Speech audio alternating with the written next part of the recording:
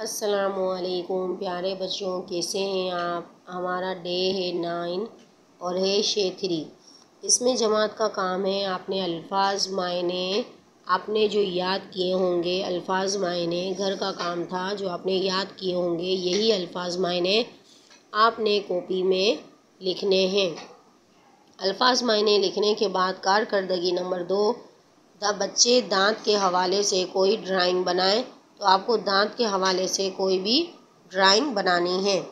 तेरीरी सवाल जवाब आपने पहले घर में याद करने हैं। दांत साफ़ करने के उसूल बयान करें। सुबह उठने के बाद ब्रश, मिसवाक या मंजन से दांत साफ़ करें। तीन वक्त खाना खाने के बाद कुली करके मुँह साफ़ करें। मीठी चीज़ें खाने के बाद दांत ज़रूर साफ़ करें। दांतों की हिफाजत कैसे की जा सकती है? ठंडी चीज़ें खाने के बाद गर्म चीज़ें ना खाएँ।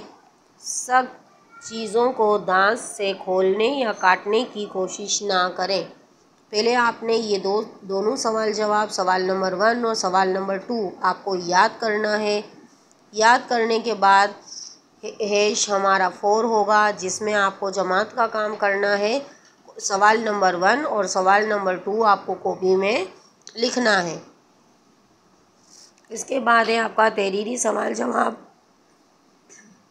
नंबर तीन और चार, आपने सिर्फ़ याद करना है, आपने लिखना नहीं है। मिसवाक से दांत साफ़ करने से क्या फ़ायदे हासिल होते हैं? दांत मज़बूत होते हैं, मुँह की बीमारियों से बच सकते हैं, मुँह से बदबू ख़त्म हो जाती है।